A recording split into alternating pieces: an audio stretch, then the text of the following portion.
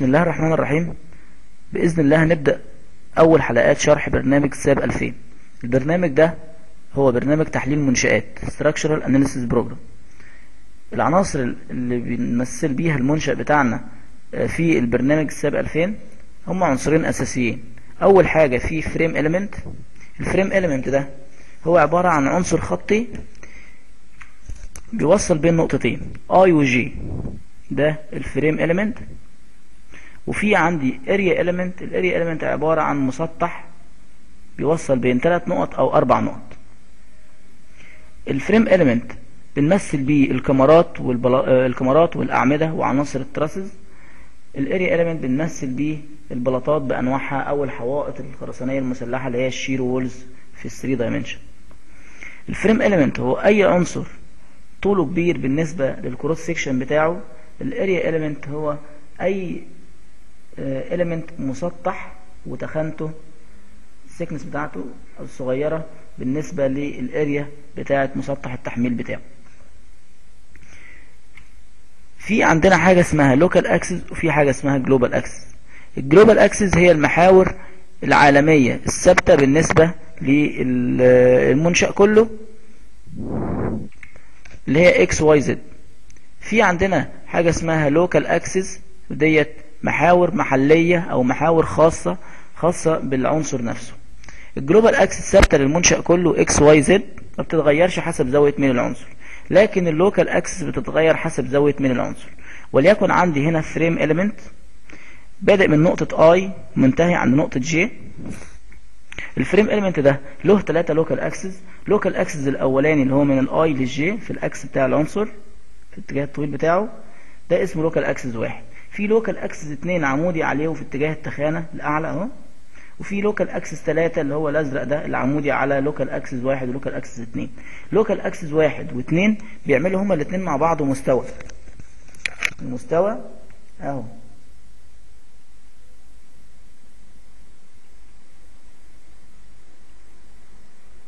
ده المستوى بيتكون ب local axis 1 و local axis 2 local axis 3 بيبقى عمودي على المستوى ده وللداخل. بالنسبة لل area element في عندنا ثلاثة local axis local axis واحد و local axis اتنين دول في ال plan متعامدين على بعض. في ال plan المسطح بتاع البلاطة. local axis ثلاثة برضو لونه أزرق ولأعلى دايما الثلاث محاور ألوانهم ثابتة في برنامج ال SAP أو حتى في برنامج ال ETABS أحمر ثم أبيض ثم أزرق. بس اللون اللي هو الأبيض local axis 2 اللي هو الأبيض ده إحنا راسمينه هنا بالأسمر علشان يبان على الشاشة البيضا كده عرفنا الفرق بين ال local axis وال global axis ممكن نحط الأحمال بتاعتنا global أو local حسب الحمل اللي عندي. لو الحمل عمودي على ال member هنحط local لو الحمل في اتجاه X أو في اتجاه Y أو في اتجاه Z هنحطه global لكن المخرجات بتاعتنا دايما بتطلع في ال local axis دايما المخرجات بتبقى في ال local axis مثلا بالنسبة لل frame element اللي هو موجود عندي ده في ست مخرجات في ثلاثة forces وفي ثلاثة moments الثلاثة forces إما أن تكون ال force في اتجاه local axis واحد يبقى هي اسمها axial force ال axial force ديت ممكن تكون compression في اتجاه local axis واحد أو tension لو compression هتظهر بالسالب في البرنامج لو tension هتظهر بالموجب. ده كده لو ال force في اتجاه local axis واحد. لو ال force في اتجاه local axis اتنين ديت هتعمل shear اسمه shear اتنين. لو ال force في اتجاه local axis تلاتة هتعمل shear اسمه shear تلاتة. ديت التلاتة forces اللي عندي. في عندي برضو تلاتة moment. ال moment اللي عندي ممكن يكون about local axis واحد يبقى هيعمل torsion.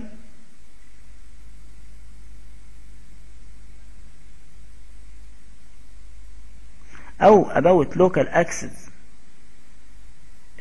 اتنين يبقى هيعمل moment اسمه M اتنين اتنين. أو هيبقى about local axis تلاتة اللي هو إحنا متعودين عليه اللي هو بيبقى دايما في اتجاه التخانة الكبيرة ده. وده هيعمل M تلاتة تلاتة.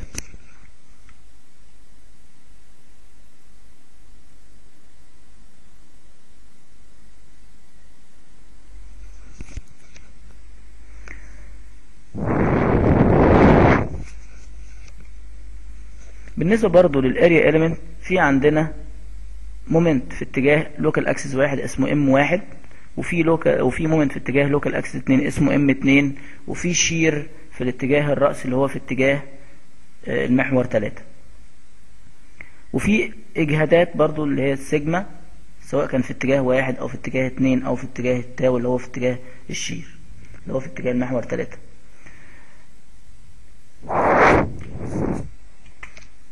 الخطوات العامة لحل أي منشأ على البرنامج على برنامج SAP 2000 هم سبع خطوات أساسيين. بيتفرع منهم حاجات أثناء دراستنا للمنشأ هنعرفها. أول حاجة أول خطوة بنعملها إن أنا بدخل على البرنامج بفتح البرنامج من على ال desktop أو من قائمة start programs أفتح آه، برنامج ال SAP اللي عندي وأظبط الوحدات بتاعتي أول ما أفتح البرنامج إلى طن ومتر بحيث أشوف مدخلاتي اللي أنا هدخلها بقى بأنهي وحدات. تاني حاجة بنفتح ملف جديد من قائمة file new model وادخل خطوط الشبكة اللي هي ال grid اللي عندي بحيث تساعدني في إني ألقط منها النقط وأرسم عليها بدقة عالية. تالت حاجة بعرف القطاعات للكمرات والأعمدة من define frame section دي لل- لل frame section سواء كان كمرات أو أعمدة أو trusses أو أعرف قطاعات البلاطات اللي عندي. لو أنا عندي بلاطة وعايز برضو أحلها أعمل define area section وأدخل اسم البلاطة وال material بتاعتها وال dimensions بتاعتها تخانتها وكده. الخطوة الرابعة برسم المنشأ بالقطاعات اللي أنا لسه معرفها دلوقتي دي. بس أنا عرفت قطاع area section و frame section بالكمرات والبلاطات والأعمدة. أبدأ أعمل draw نبدأ نعمل draw beam draw frames أو draw area وأرسم وأحط الركائز بتاعتي اللي هي ال supports في النقط اللي عند الأعمدة. آه، خامس حاجة بنختار العناصر نحط عليها الأحمال.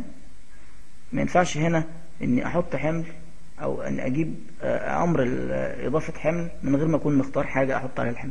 لازم أي حاجة أحطها سواء كان support أو حمل أكون مختار الحاجة اللي أنا هعمل assign ليها.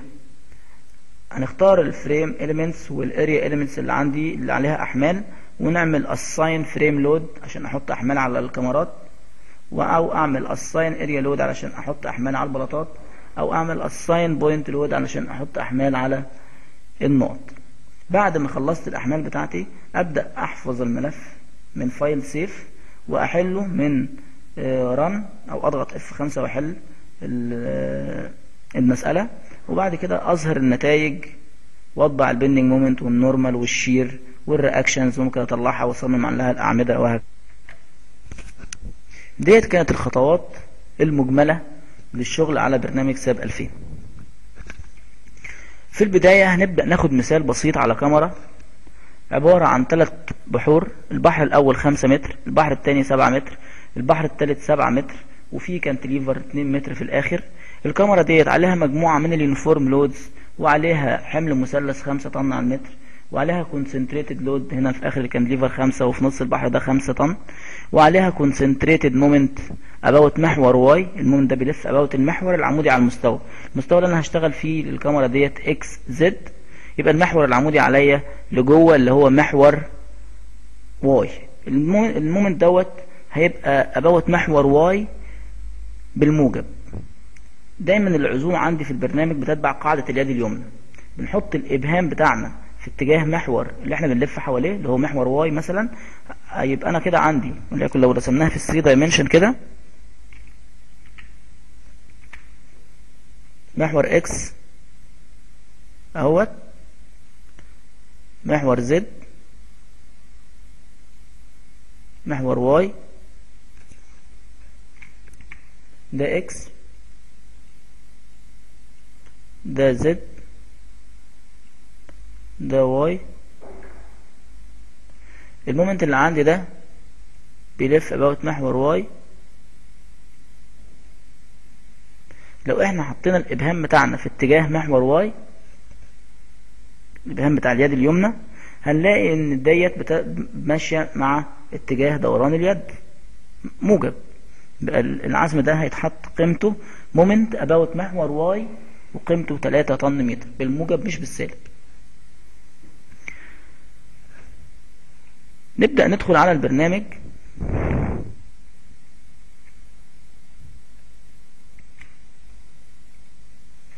أول ما نفتح البرنامج نظبط الوحدات بتاعتنا على طن ومتر.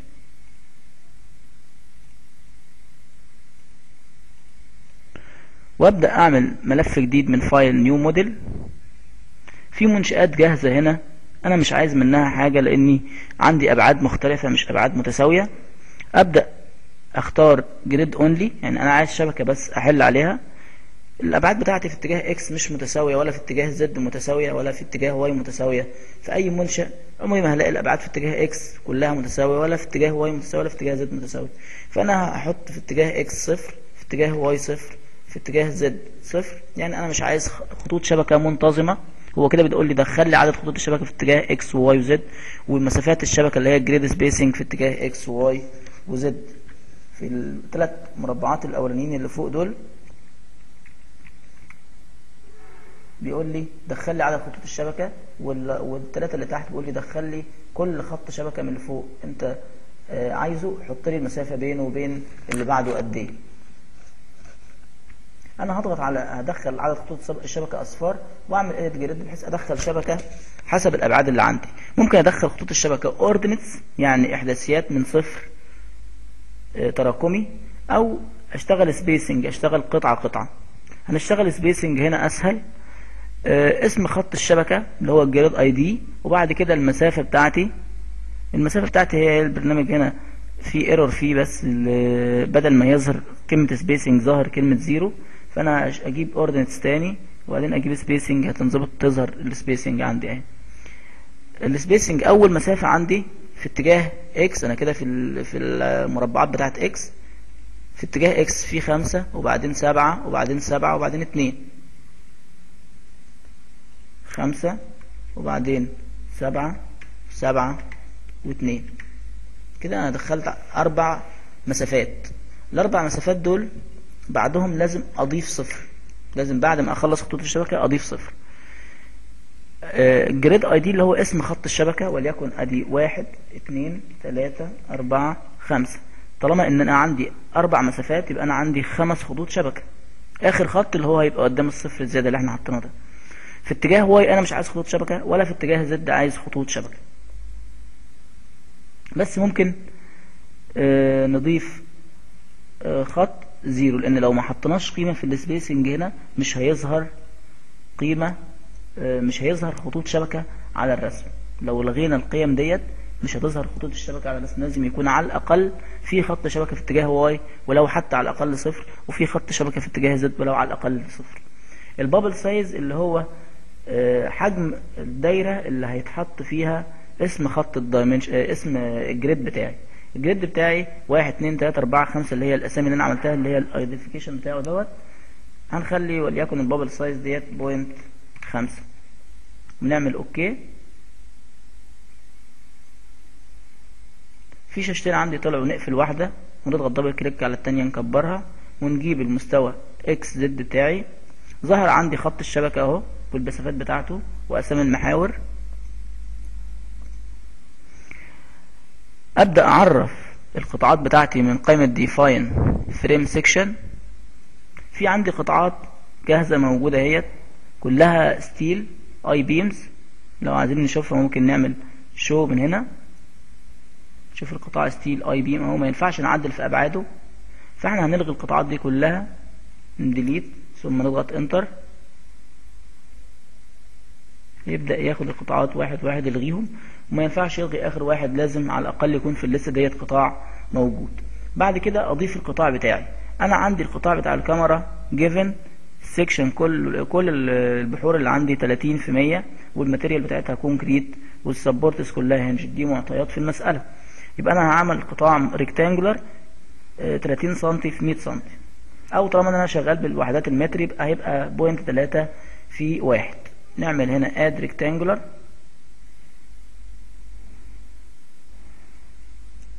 add new property نعمل اسم القطاع هنا وليكن beam 30 في 100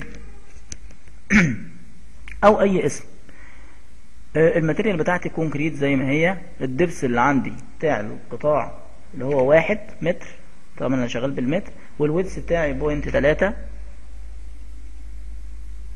ونعمل okay. وممكن نلغي بعد كده القطاع اللي هو ال I beam اللي كان موجود قبل كده. نعمل okay بعد كده آجي على قائمة draw وأبدأ أرسم درو في draw frame ده بيرسم frame آه بنقطتين أو quick draw frame quick draw ده آه رسم سريع بنقطة واحدة. أضغط نقطة واحدة على ال grid يروح جاي راسم آه بس ما بيرسمش غير X و Y زي ما عندي كده. أو نرسم ب draw frame ده أمر عام بيرسم أي خط frame. سواء كان أفقي أو رأسي أو مايل يظهر لي ال properties بتاع ال object اللي أنا هرسمه ال section بتاعي 30% ممكن أكون معرف كذا قطاع البحر الأولاني دخلته كذا البحر الثاني دخلته كذا. ممكن أكون عندي كذا قطاع في الكمرة. فأختار القطاع اللي أنا عايزه وأرسم البحر اللي أنا عايزه. أنا هنا كل القطاعات عندي 30% أبدأ أرسم من النقطة ديت للنقطة دي الكمرة الأولى البحر الأول وبعدين الثاني والثالث وال cantilever اللي هو الرابع. نخلص نعمل click يمين وبعدين نعمل escape. أنا كده خلصت الرسم. ممكن نعمل shrink للعناصر دي علشان نشوفها كل قطعة لوحدها. ال shrink بيجي من هنا. object shrink ده بي بيكش العناصر شوية لكن هي موجودة طويلة وهتتحل على انها بنفس الطول اللي أنا دخلته. نطلع ضغطنا عليها تاني هيشيل ال shrink اللي هو عمله. عايز أبدأ أحط ال supports بتاعتي لازم أختار النقط النقطة ديت ودي. ونعمل assign joint restraint. تخصيص ال supports من assign joint restraint. واختار نوع ال support اللي عندي سواء كان fixed أو hinged أو roller هو هنا عندي hinged Okay. بعد كده هنحط الأحمال. في عندنا أحمال uniform load على الباكية دي ودي وعلى ال cantilever. قيمتها 3 طن على المتر الطولي. اختار الثلاثه members دول. وهنعمل assign frame load distributed. في عندنا forces وفي moments أنا عندي uniform force أو uniform load في عندنا global وفي local اللي هو اتجاه الحمل.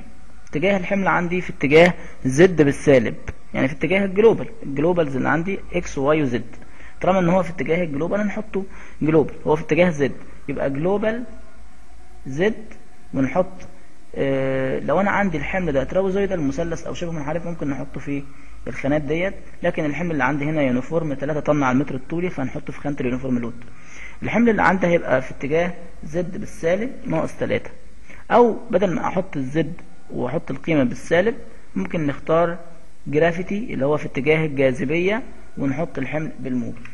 ال gravity عكس ال Z لو أحطها في Z بالسالب هحطها في ال gravity بالموجب. ونعمل okay. كده حطينا الأحمال 3 طن على المتر الطولي. الباكية ديت فيها حمل مثلث. هنعمل assign frame load برضو. distributed حمل موزع لكن مش حمل موزع بانتظام. حمل موزع ولكن غير منتظم. فهنا هندخل في الخانات بتاعة ال trapezoidal بس الأول نلغي ال uniform load نخليه بصفر عشان ما يحطش حمل مثلث وحمل منتظم. الحمل اللي عندي برضو force في اتجاه ال global gravity حمل في اتجاه الجاذبية لتحت. المفروض إن أنا هرسم المثلث ده بثلاث نقط. النقطة الأولى والثانية والثالثة والنقطة الرابعة دي مش عايزاها هنصفرها.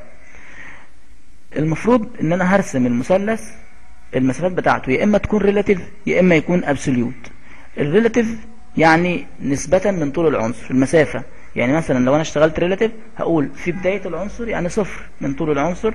دي النقطة الأولى ال distance الأولانية. وال distance الثانية عند نص العنصر وال distance الثالثة عند واحد من آخر العنصر. والنقطة الأخيرة دي قلنا مش عايزاها الثلاث مسافات دول كل مسافة عندها load ال load في بداية النقطة النقطة الأولانية قيمته صفر. وال load في الآخر برضو صفر. وال load في النص في نص ال member بالظبط قيمته خمسة. أهو. خمسة طن أقصى قيمة في الأرض. يبقى أنا كأني برسم في إحداثيات X و Z المسافة في اتجاه X وال load في اتجاه Z آه ونعمل okay. هنلاقيه حط لنا برضو الايه المثلث. بعد كده هبدأ أحط ال concentrated loads النقطة ديت عندها concentrated load assign joint load هنلاقي هنا ال frame load مطفية لأن أنا ما اخترتش frame. اللي أنا بختاره بس هو اللي بي بينوره لي هنا. Assign joint load force force في اتجاه global Z مفيش هنا gravity force في اتجاه global Z ناقص خمسة. okay. كده حط لي خمسة طن في اتجاه Z بالسالب. في برضو على ال member ده قلنا إن في لو أنا جبت في 3 dimension كده في إكس وواي وفي زد اللي هي المحاور العالمية اللي هي عاوزين نحط على ال frame element ده concentrated load في اتجاه Z بالسالب خمسة طن اللي هو هنا خمسة طن في نص ال member و concentrated moment تلاتة طن متر قلنا about محور Y بالموجب لأن هو آه لو أنا حطيت إبهام اليد اليمنى في اتجاه Y ولفيت ده الاتجاه الموجب بتاعي. هو في اتجاه 3 طن متر يبقى كده مظبوط. يبقى ده 3 طن متر positive about محور Y بس ما ينفعش نحط ال concentrated load مع ال concentrated moment في نفس الخطوة. هنحط في دي دي خطوة وبعدين نعمل خطوة تانية بس نعمل add يعني أنا هضيف الاثنين على بعض. نختار ال member ده ونعمل assign frame point load لأن هنا الحمل ال concentrated ده ما هواش عند نقطة. لو هو عند نقطة كنا اخترناها وعملنا assign joint load بدل frame load لكن هو عند frame بس هو point load يعني هو حمل concentrated بس مش على آخر frame مش على أوله ولا آخره. لا ده هو في نص ال frame فهو point load على ال frame أول حاجة نحط ال forces global gravity ال forces ديت بيتيح لي البرنامج أدخل أربعة forces مرة واحدة. أنا مش عايز غير force واحدة. ال distance بتاعتها relative لو اشتغلت أنا relative ال distance بتاعتي نص. يعني في نص ال member يعني هتبقى في الحتة دي كده نص ال member. حط لي حمل قيمته خمسة. طبعا أنا شغال gravity يعني موجب. ونعمل okay. لو أنا عملت replace هيشيل الأحمال الموجودة على ال member ويحط الحمل ده بس. مفيش مشكلة. أصلا مفيش أحمال على ال member ده قبل كده concentrated load الأحمال الموجودة على ال member ده uniform load. وديت ملهاش دعوة بال point load. ديت حاجة ودي حاجة. مش هيجمعهم على بعض. فأنا ما قلقش منها. لو عملت replace عادي عملت add مفيش مشكلة. okay؟ ألاقي ال concentrated load موجود. وبرضه ال uniform load موجود بس هو اختفى. هنظهرهم كلهم مع بعض دلوقتي. نحط الأول ال concentrated moment اللي هو about محور about محور Y بالموجب. نختار ال member تاني برضو نفس القايمة assign frame load point load بس بدل ما هي forces هنختار مومنتس مومنت اباوت الجلوبال اكسس واي اباوت محور واي مومنت بيلف اباوت محور واي موجب وفي نص ال member قيمته 3 لو عملنا replace هيشيل ال concentrated load اللي هو الخمسة طن ويحط concentrated moment أنا عايز أعمل add to existing load يعني الأحمال الموجودة اللي أنا لسه حاططها من نفس الشاشة دي لما تيجي تحط حاجة تانية تضيفها عليها ما تمسحهاش. ف okay هو كده حط concentrated moment في اتجاه محور Y كده positive أه هنا البرنامج ما بيرسمش ال moment عبارة عن أسهم كده عن curve يعني. هو بيرسمه عبارة عن سهم بس له أه راسين في البداية. غير ال concentrated load بيبقى سهم براس واحدة. لو أنا عايز أظهر الأحمال كلها مع بعضها اللي عملت كل ما أحط حمل التاني يختفي ديت ممكن من قائمة display show load assigns frame display show load assign frame وأقول له هنا okay كده هيظهر لي ال span loading اللي هي ال forces هيظهر لي ال joint load مع ال span load اللي هي ال uniform وال concentrated الأحمال كلها ظهرت عندي. لو جبنا ال XZ أهي. concentrated هنا و concentrated force هنا. هنا مفيش moments ظهرت. ال moment ما بيظهرش مع ال forces نعمل display show load assigns frame تاني بس نقول له هنا show loading moments بدل forces moments ونشيل من هنا show joint loads وال span loads عشان ما يظهرليش ال concentrated forces كمان. هو هيظهر ال moments بس. okay. ب check على على المدخلات بتاعتي. ال moment ما ظهرش عندي هيظهر في 3 dimension خط سهم براسين في اتجاه Y. كده أنا اطمنت الاحمال كلها موجودة. Display show load frame forces. الاحمال كلها موجودة. أه قبل ما نبدأ نحفظ الملف ونبدأ نحله المفروض أشوف ال own weight بتاعي. هل البرنامج هياخده ويضيفه على الأحمال ديت لوحده كده اوتوماتيك ولا آه، مش هيحسبه خالص. البرنامج اوتوماتيك بيحسب ال own weight الساب اوتوماتيك بيحسب ال own weight ويضيفه على حالة التحميل اللي هي ال dead load يعني أنا لو حطيت الحمل ده اللي هو ال uniform load اللي على ال members ديت 3 طن على المتر الطولي والمثلث ده وال concentrated loads دول أحمال شاملة ال own weight وال live load وال covering والحوائط وأوزان الكمرات وده كله يبقى المفروض إن أنا أخلي الساب ما يحسبش ال own weight. عشان كده ما يبقاش إحنا حطيناه مرتين. فأنا مثلا الأحمال اللي عندي دي كلها total load included ال own weight وال covering وال live load والحوائط وكله.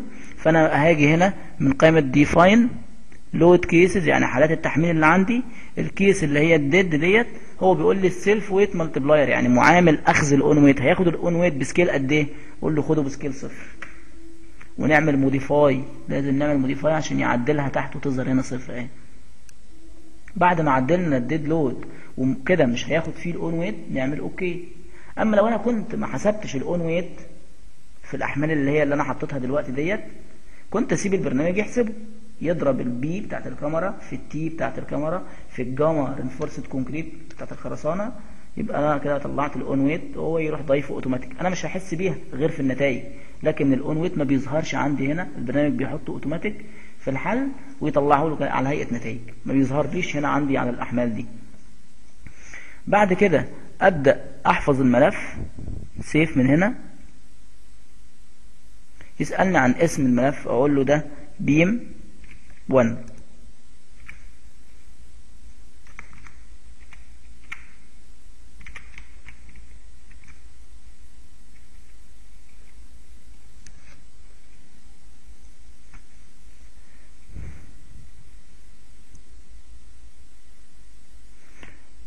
بعد ما حفظنا الملف نعمل run من الزرار الصغير ده run analysis أو نضغط F5 من ال keyboard أو من قائمة analyze run analysis.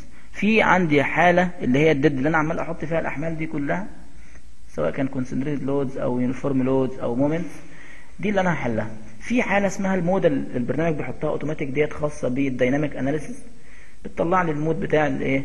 المنشأ ودي هندرسها وإحنا بنشتغل في 3 dimension في أحمال الرياح والزلازل.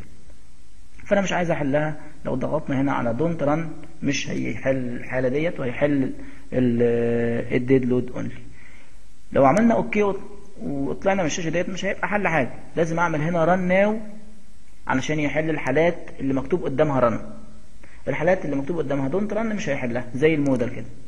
هو هيحل هنا ال dead load بس. البرنامج هيبدأ يحل ولما يخلص هيقول لي analysis complete okay؟ أروح أشوف ال deformed shape اللي عندي.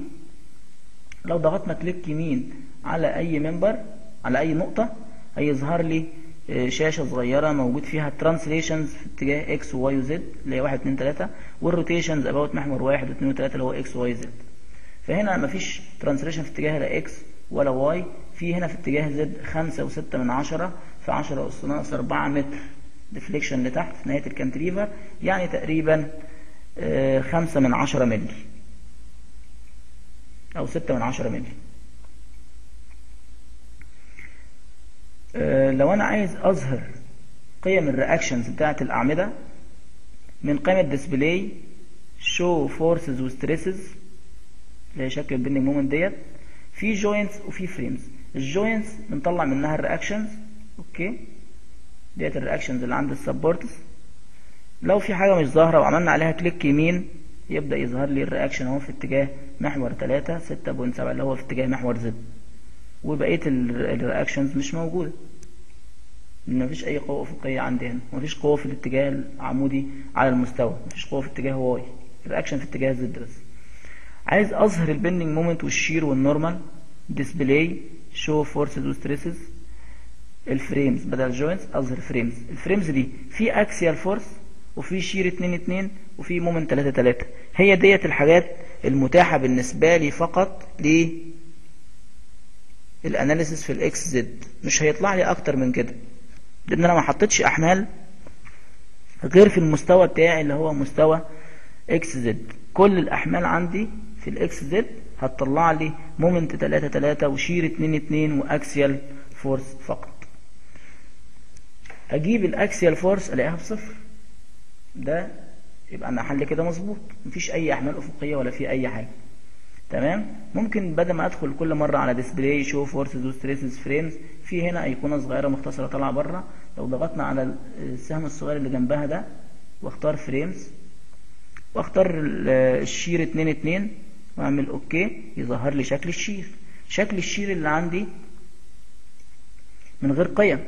لو أنا عايز اظهر القيم نضغط برضو تاني على الأيقونة ديت.